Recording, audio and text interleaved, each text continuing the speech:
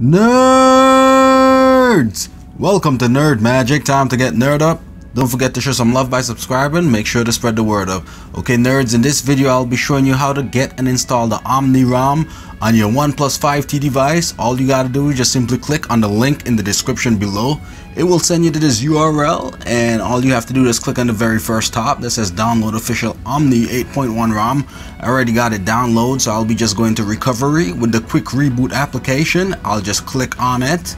And once I click on it, I'll click recovery and just click yes and give super user permission so I can get my ass in recovery.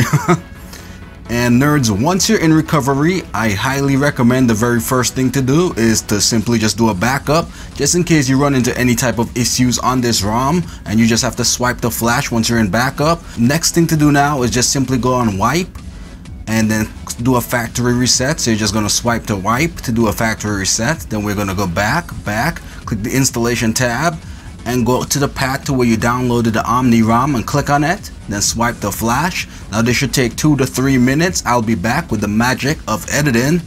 And now I'm back.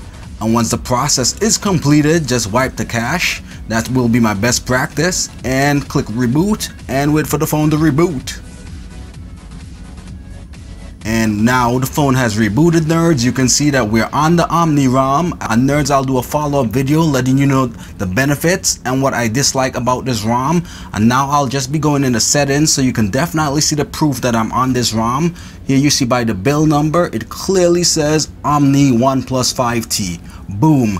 And if you like this video nerds don't forget to show some love by subscribing. And do have yourself an awesome day and I love you guys